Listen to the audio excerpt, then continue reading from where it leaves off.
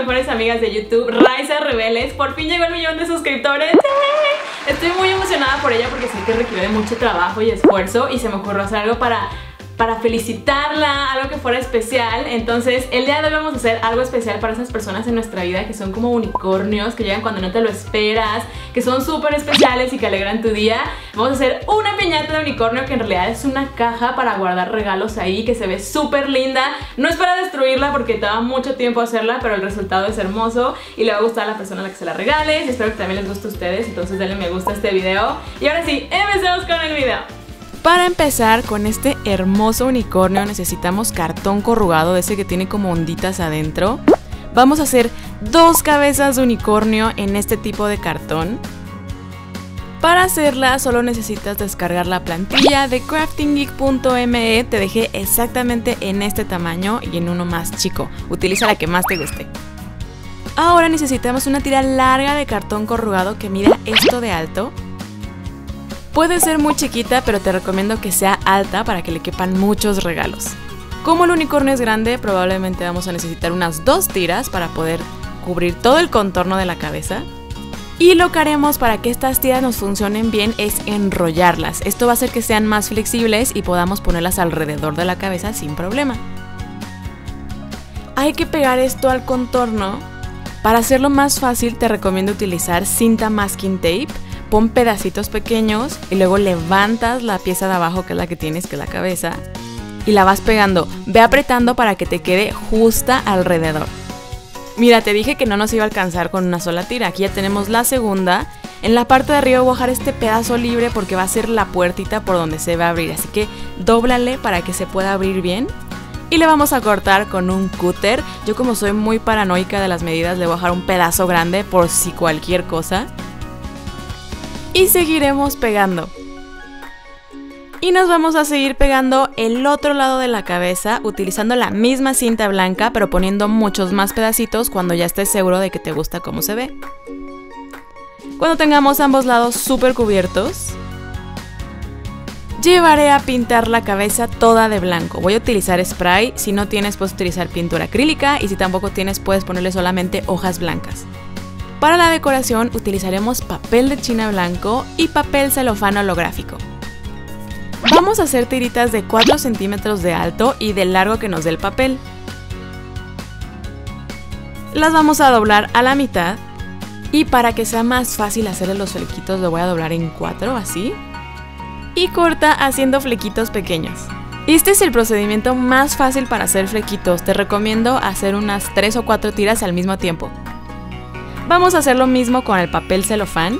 Ten paciencia porque como es transparente y ese plástico es un poquito más tardado. Y necesitamos un bonche de blancos y un bonche de celofán y vamos a empezar a pegarlos en nuestra piñata. estoy utilizando pegamento blanco, pero en realidad puedes utilizar cualquier tipo de pegamento. Voy a poner dos tiras blancas, una de celofán, dos tiras blancas y una de celofán. Si quieres que todo tu unicornio sea holográfico, puedes hacer todo de celofán holográfico. Para poder seguir con el lateral vamos a hacerle un corte de cabello al pony aquí en la orilla. Y nos vamos a seguir pegando papel por todos lados, en las orillas y en la parte de atrás. Hasta que nos quede así de hermoso, ya tiene todo su pelaje blanco y holográfico. Para que no se vea tan plano, le vamos a mover un poquito con nuestros dedos para que se levanten los papelitos.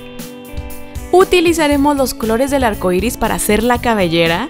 Necesitamos varias hojas de 10 por 20 centímetros. Las vamos a sostener con unas pincitas en la parte de arriba y a los lados. Y ahora con mucha paciencia y amor vamos a ir cortando tiritas. Haz esto con mucha paciencia para que no te queden feas. Y vamos a hacer esto con todos los colores.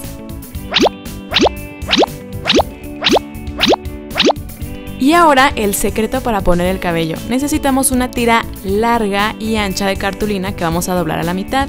En una de las mitades vamos a empezar a poner los cabellos por orden de colores si quieres que parezca un arco iris.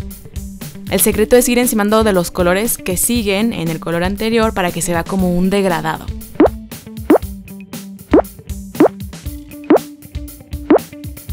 Ahora que tenemos el arco iris perfecto, cerraremos la tira y como esta es la parte de atrás, lo que vamos a hacer es pegar tiritas de los mismos colores en la parte de arriba.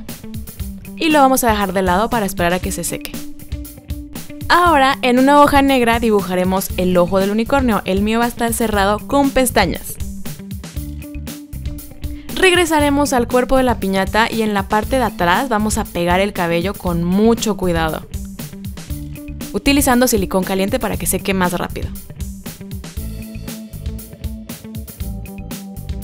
Y ya tenemos una cabellera perfecta en arco iris que se ve hermosa. Yo no sé, pero creo que estos colores se le verían muy bien a Ray en su nuevo cabello. Pegaremos el ojo. Y ahora para el cuerno yo hice este en cartulina y lo pinté con pintura en spray dorada. Lo voy a pegar también con el silicón caliente. Para que sea un unicornio más femenino vamos a poner florecitas alrededor del cuerno. Como quiero que también brillen, les voy a poner un poco de pegamento y les voy a poner diamantina dorada. ¡Tarán! Ha nacido nuestro unicornio arcoíris. Ponicornio arcoíris, perfecto para llenar de regalitos.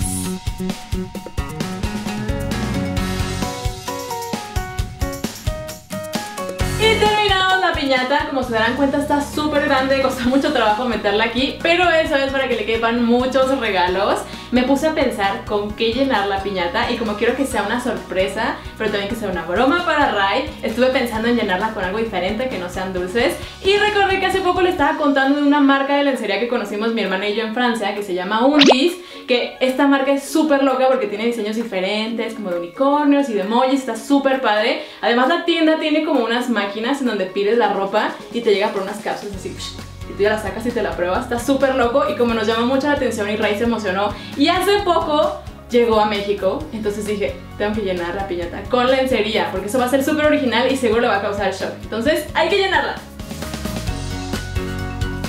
O sea, vean, bra de unicornio. Definitivamente esta es una idea diferente para llenar una piñata. Espero que le cause muchísima sorpresa a Ray. Díganme en los comentarios de qué otra cosa podrás llenar una piñata para sorprender a tu amiga.